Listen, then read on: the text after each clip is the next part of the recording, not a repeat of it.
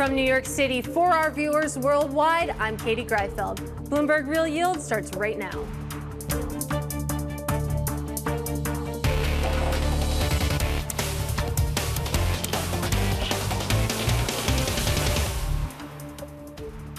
Coming up, a pickup in unemployment gives a gift to bond bulls, only to see yields reverse after strong ISM manufacturing figures. With Wall Street saying the Fed can pause from here. We begin with the big issue the Fed's Goldilocks moment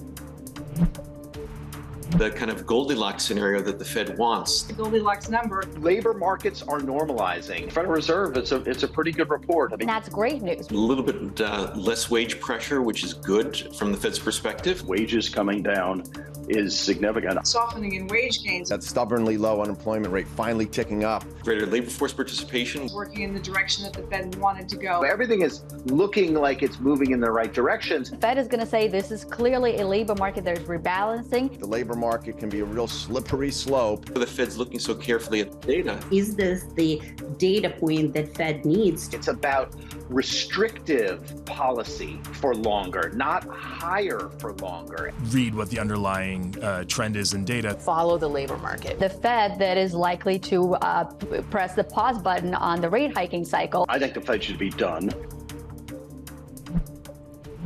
Joining us now, Mary Ann Bartels of Sanctuary Wealth and Columbia Threadneedle's Ed Al-Hussainy. And Ed, since you're sitting next to me on set, I'll give you the first question. Let's talk about the price action this morning. We got the jobs report, unemployment rate finally coming up, two year Treasury yield goes 10 basis points lower. We get that ISM manufacturing figure. Now we're three basis points higher.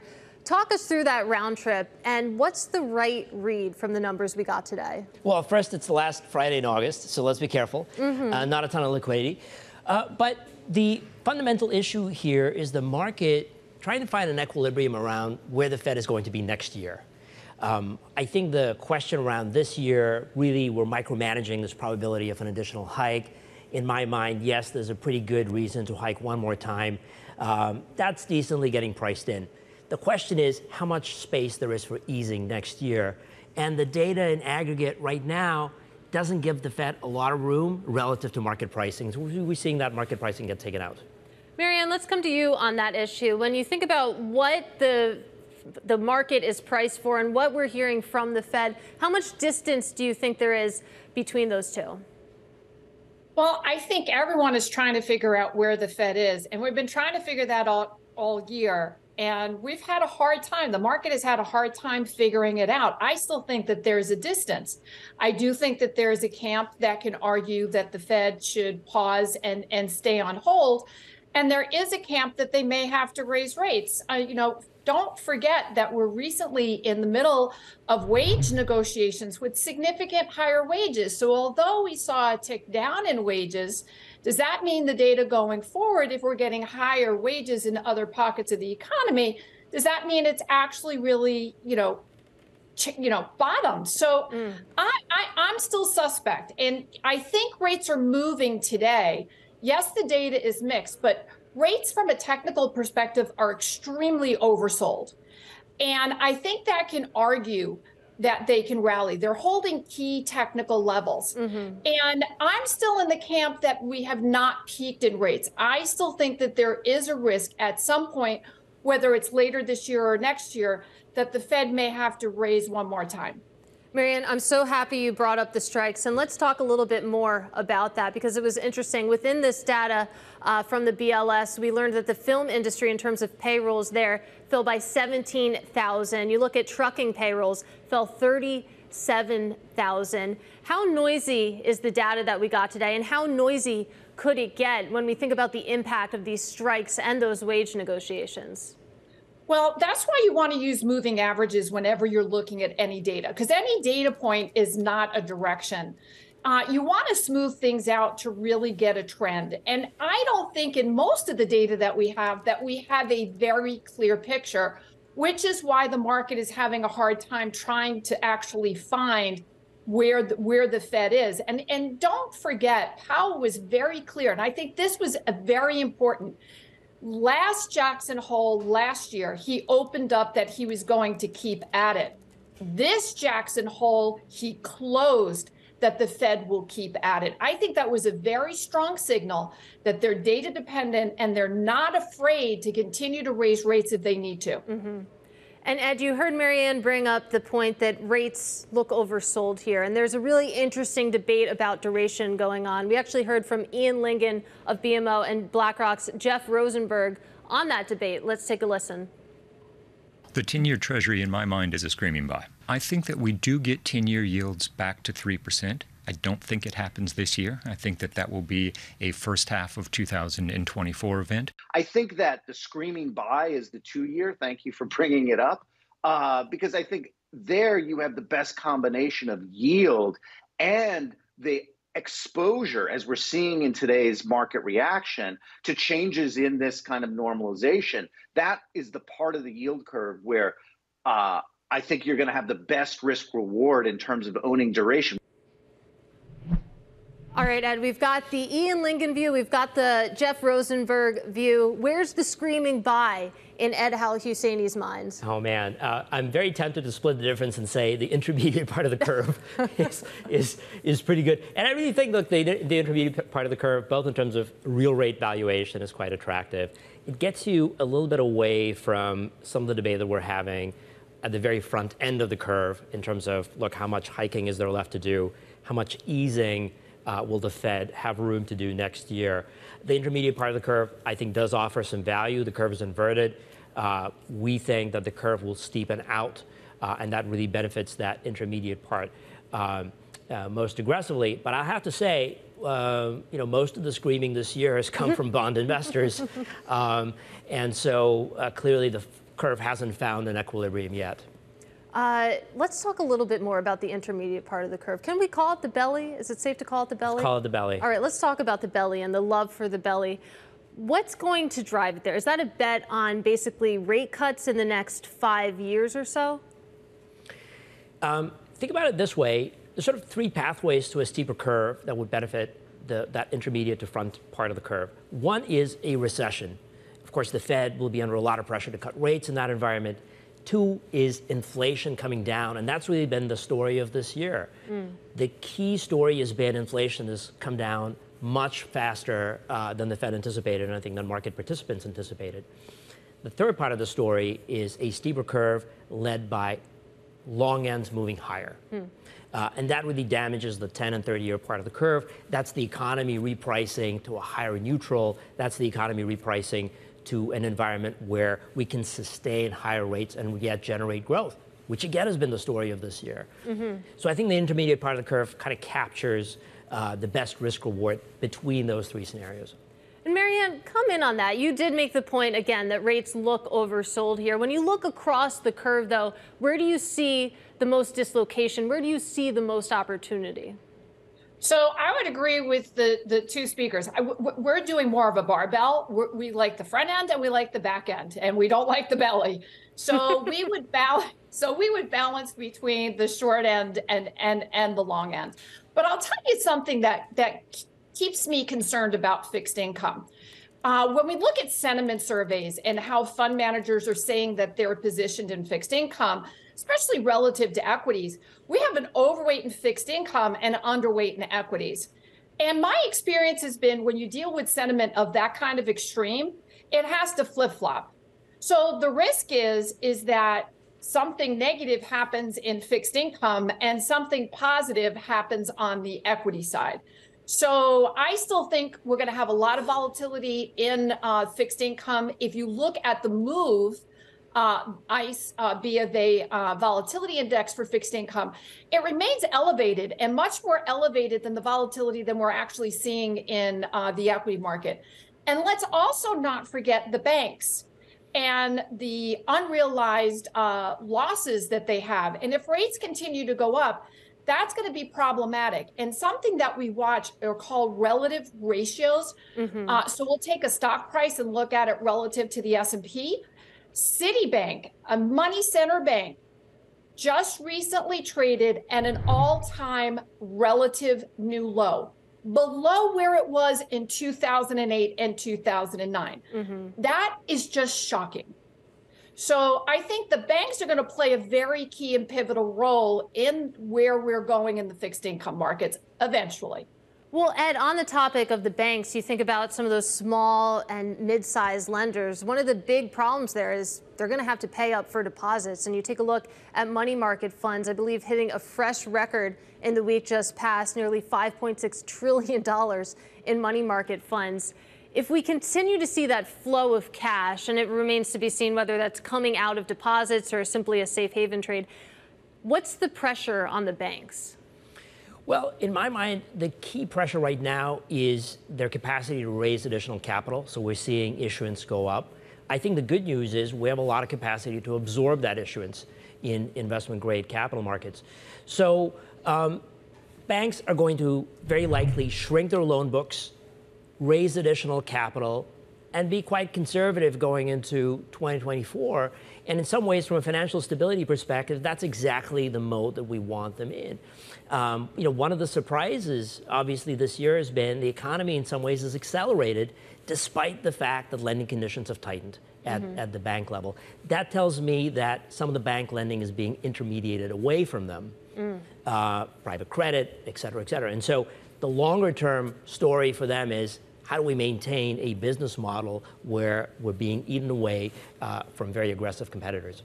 A good note to end on a really tricky existential moment for these banks. Mary Ann Bartels and Ed Al, Al-Hussainy, thank you both so much. Really enjoyed this conversation.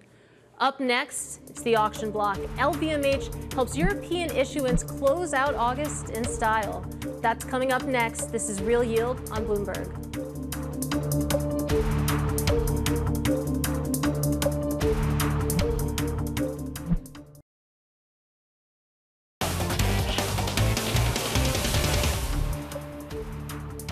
I'm Katie Greifeld. This is Bloomberg Real Yield.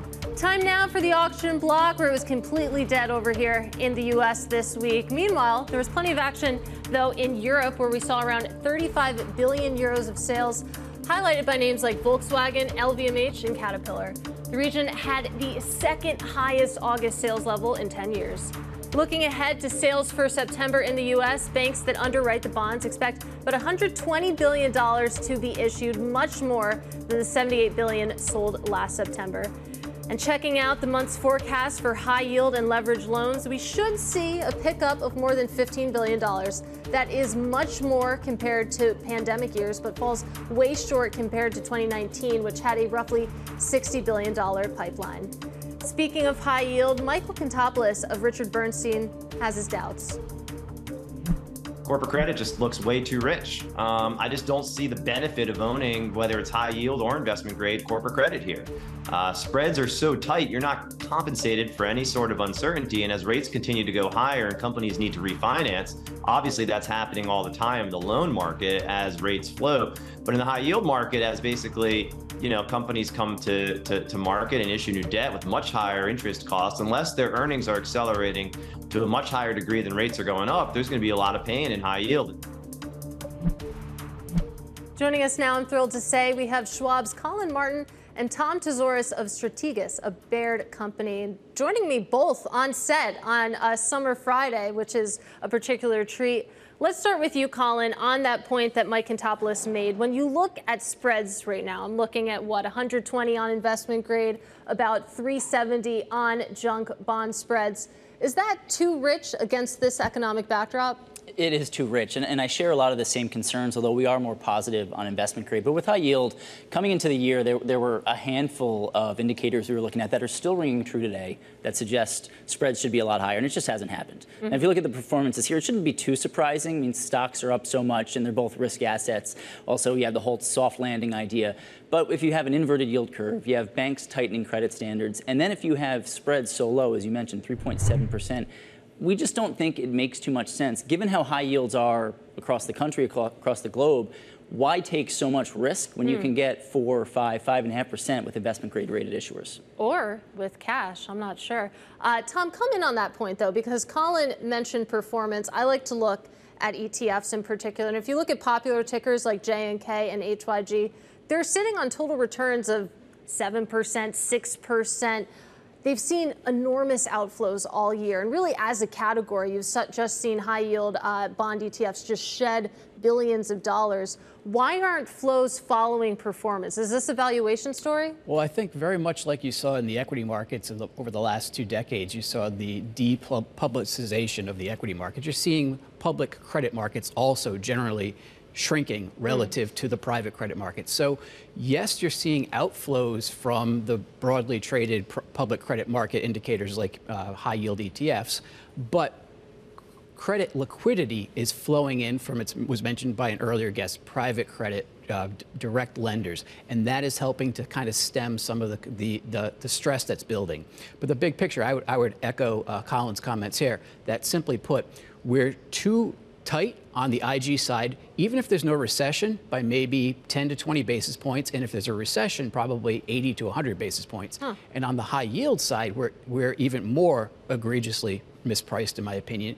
Even if there's no recession, we're probably 100 to 150 basis points too tight on the high yield side. I want to get to private credit, but you brought up some specific levels Collin, I'm curious if you have any levels in mind that would be closer to fair value. Yeah, I think a lot higher than they are now. If we look at historical or even just over the past 10 or 15 years, how high have spreads gotten in periods of slower economic growth or just general market volatility? You tend to see spreads in the 7 or 8% range, and we're only at you know 3.7.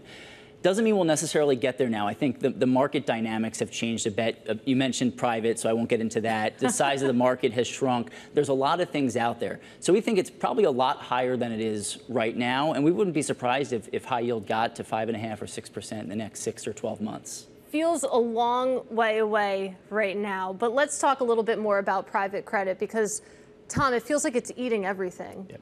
And right now, no one really knows how large this market is. Even the amount of, of assets that are under management, dry powder, there's a lot of ambiguity there. What we can say is it's large, it is probably rivaling in size the high yield market itself and potentially rivaling in size the high yield market plus the bank loan space, depending on how much there is in the pipeline coming from, we'll call it pension funds that could come in and actually continue to increase allocations. So we're talking, reasonably speaking, somewhere around 2 trillion in size, with something on the order of 400 billion to 500 billion of dry powder. That appears to be the case right now. Now, that's not going to keep spreads from widening if there's a recession in the high yield space, but that is certainly adequate to keep spreads anchored where they are right now while stress is not apparent.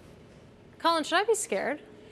Should you be scared? I, I, don't think so for now. Things are looking okay. If we look at defaults, for example, and this is something that we've been paying attention to, defaults have been picking up. And they're probably picking up in the private markets. We just don't know because we can't really see the data. But in the public markets, they are. But they're not surging higher. It's kind of a gradual increase, kind of just back, back to long term averages. We think as time passes, though, it's the higher for longer and just the impact of these higher rates. What does that mean on, on these companies' bottom lines? If you look at loans and a lot of companies that private credit is lending to, with floating rate coupons, they've seen their interest expense, their annual interest expense, more than double over the mm-hmm. past 12 months. How can you sustain that? For the next 12 months in an environment when corporate profits are slowing. So, so we do think that's a big risk right now. What does this mean for bank business models? I mean, we were just discussing in the last segment the the the really absorption of funds going into money market funds maybe coming from bank deposits. And then you have private credit also booming uh, just to make matters a little bit trickier. Tom, what does this mean for financial, this both the sector and the debt? Well, I think what this means is for the banks that their business model continues to be one that's going to be under pressure from regulatory attack and it means that there's going to be more of an emphasis on, we'll say, fee-based income, um, um, fines for you know penalties for their clients, things like that, as opposed to a lending pipeline. And what lending pipeline is going to be in existence two, three, five years from now is going to very much be a lend to securitize type mm. of model. And that means it's going to favor the larger lenders, scale, size is going to be, we've heard this story before over the last decade. I don't think that changes. So it means that the regional banks are going to continue to be under uh, regulatory pressure and, and uh, competitive pressure from all different angles. That, I think that's the case we're looking at. And I don't think that's uh, particularly surprising given what uh, we've seen so far. I mean, we could keep this conversation going for an hour probably, but I only have two minutes left with you guys. So I want to talk a little bit more about levels before I let you go. Uh, there was an interesting quote uh, from Cameron Dawson uh, on television, I think it was yesterday, talking about basically if we saw 10 year yields go back to 3%, and there have been some calls for that, that would be a screaming sell for credit, which I thought was interesting. And I'm curious, Collin, what would be more painful for the corporate credit market at this juncture? Would it be 10 year yields going to 3% or to 5%? That's a good way of framing it. I'd say to 5% because then you have that all in cost in an environment that we, we, we, still think is, is slowing. If the economy does slow and inflation re- remains sticky, that's a problem for corporations. And on the flip side, though, not to kind of play both sides, if we go down to 3% on the 10 year Treasury, that's not happening for good reasons the Fed would be cutting in that instance, mm-hmm. and again, not for good reasons. So both would be relatively bad, but, but our main theme and what we're telling all our clients at Schwab is to focus on quality. Regardless of either outcome, it's those junky companies that are at most at risk right now. And Tom, we have about 30 seconds. What's scarier, 3% or 5%? Uh, I would agree 5%. But what you've just highlighted is really that when you are an investor, let's say in a triple C credit, your short yield volatility that is, if you get big jumps or big drops in, say, the 10 year yield or the five year yield, you are going to see spreads widen out for multiple reasons. And that exactly illustrates just that problem. But I'd say 5% is the place I would really be worried about. Well, this Treasury market has been defined by volatility. So, uh, sounds like pretty fun dynamic. Guys, we got to leave it there. Really enjoyed this. My thanks to Collin, Martin, and Tom Tzitzouris. Still ahead, it's the final spread. The week ahead, Fed speak picking up again. This is Real Yield on Bloomberg. I'm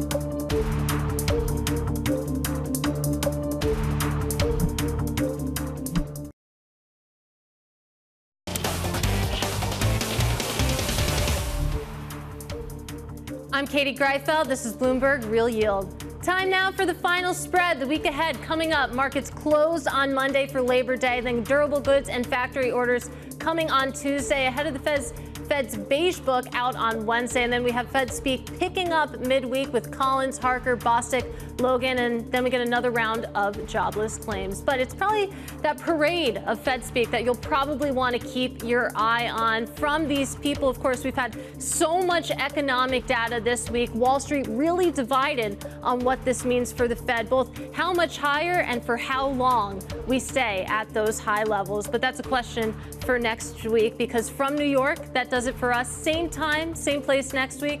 This is Bloomberg Real Yield, and this is Bloomberg.